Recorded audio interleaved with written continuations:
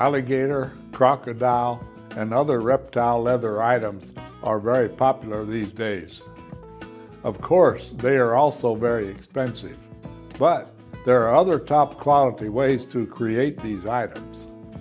In this video program, we will show how to craft great looking belts from embossed cowhide for a fraction of the cost.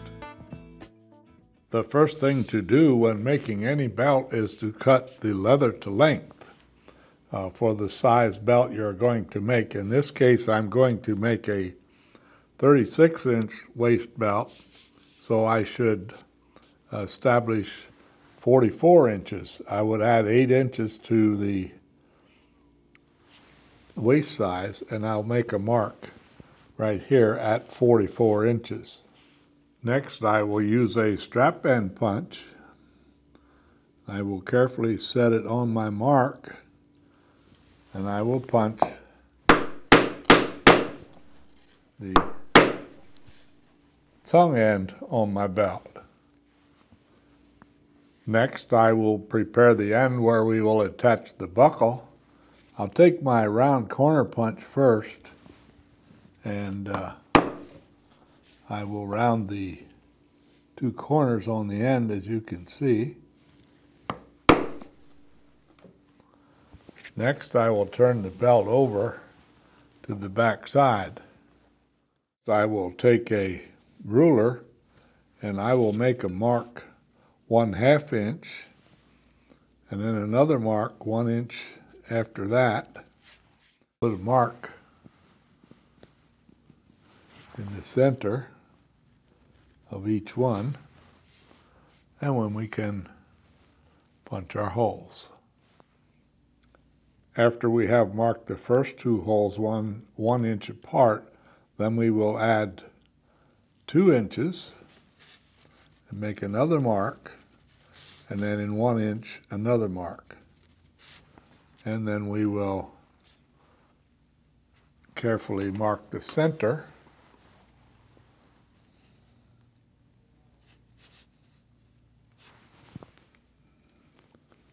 and with our ruler then or our straight edge we can mark for the other two holes.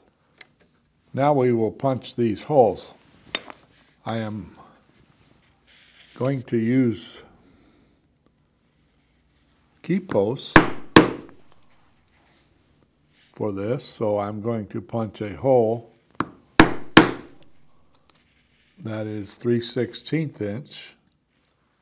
If we are going to use a buckle with a tongue as opposed to a trophy style buckle, then it's necessary to punch a oblong slot in here for the tongue of the buckle to come through. So I'll locate it exactly in the center of this area that we left blank before.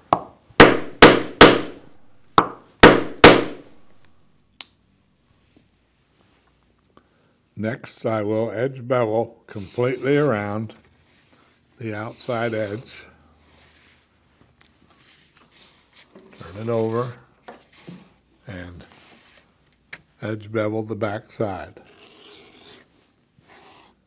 Next, I will use a skiving knife to skive the area from the slot down to the end to reduce the thickness where it goes over the buckle. I'll reduce this down about one half the thickness. It is now time to slick the edges of our belt. First thing I'll do is take a damp sponge. I will dampen the edges all the way around. Next, I will take an edge slicker and I'll slick these edges until they get nice and smooth. Next, we will punch holes in the tongue end of the belt I'll start first by coming in four inches from the tip and make a mark. And then I will make four more marks, three quarters of an inch apart. Now I will very carefully punch these holes in the center, once again using the, uh, 3 16th inch punch.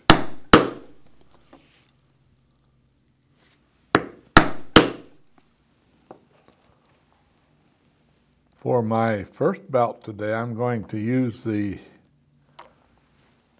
Eco-Flo water stain, professional water stain in fact, to color this belt. I'm going to apply it with the dauber and I'm making sure that I get in all of the impressions. I will also very carefully dye the edge. Now we will continue down the entire belt. Another really good looking gator belt can be made by finishing with the gel antique finish. With this finish, it's very important to get it down in the all of the impressions because uh, we will wipe off the excess I like to use a folded paper towel for that. And we will end up with a real nice two-tone finish.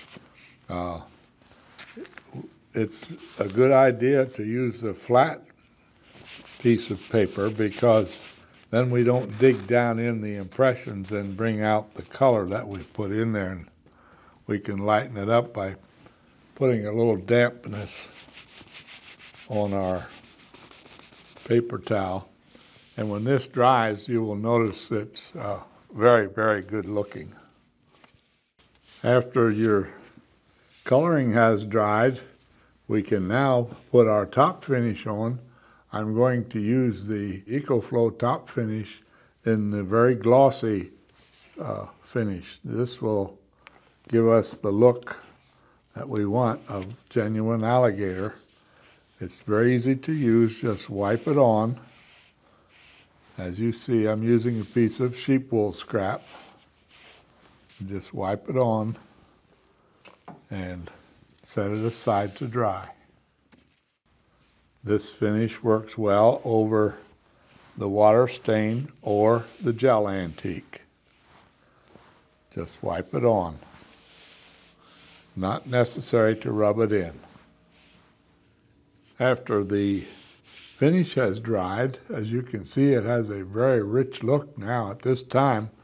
Uh, the last thing to do is put finish on the edge. In this case, I'm going to use the Eco-Flo edge paint. I'll do the entire edge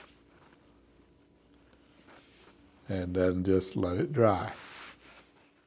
Attaching the buckle is quite easy. It's just a matter of sliding the belt through the buckle, as you can see, and uh, bring the tab back.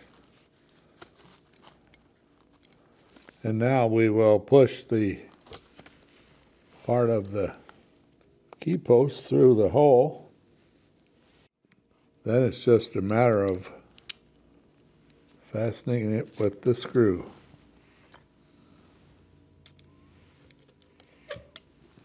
And now we'll do the same thing with the other one. You can also fasten your buckle with rivets. I will first uh, put the buckle in place just like we did the other one. Fold the end back. And then I will put a rivet through the hole, match them up, put the cap in place, and then onto a solid surface with your rivet setter, just sit it in place. I will do the other one the same way.